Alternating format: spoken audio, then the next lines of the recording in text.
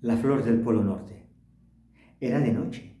En el horizonte empezaba a salir un hilo de luz que poco a poco lo llenaba todo.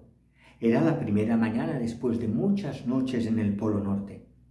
Con una dulce sonrisa, el sol abría sus ojos en aquel país tan lejos de otros países y sus afanes, y todo el mundo salía a recibirlo.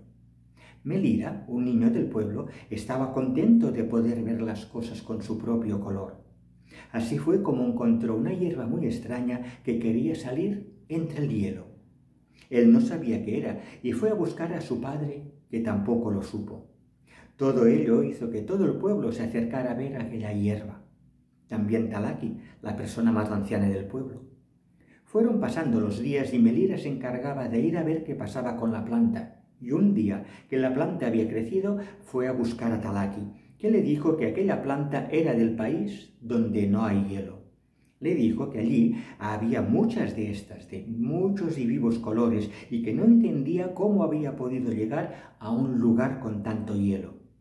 La flor que había salido de la planta se empezó a mover y con una voz fina dijo que estaba muy contenta de estar ahí, pero que también se sentía triste porque sus hermanas estaban muriéndose allá lejos.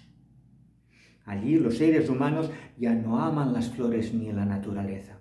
Lo matan todo a cambio de dinero.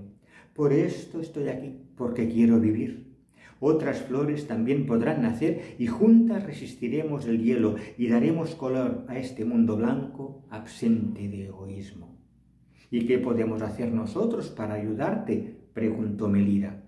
Y la flor le respondió que lo mejor era seguir amando a la naturaleza Melira avisó a todo el pueblo, aquel niño, aquel día, se había convertido en un hombre y tenía una llama encendida en el pecho y con ella lucharía para defender la vida.